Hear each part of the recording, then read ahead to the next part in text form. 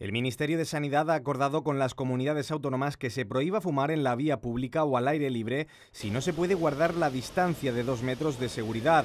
Una medida ya aprobada la pasada semana por Galicia y Canarias y que ha generado controversia entre los ciudadanos.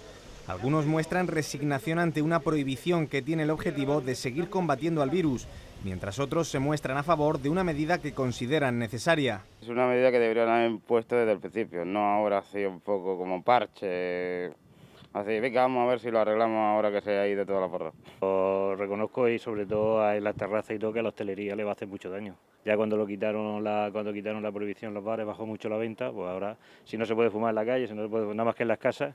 Lo veo excesivo siempre y cuando eh, lo que se apela es a la responsabilidad individual de cada uno y si cada uno sabe que tiene que mantener una distancia, eh, siempre y cuando mantenga la distancia en la vía pública, pues se puede fumar. Aplaudida por las autoridades sanitarias para prevenir la diseminación de la COVID-19.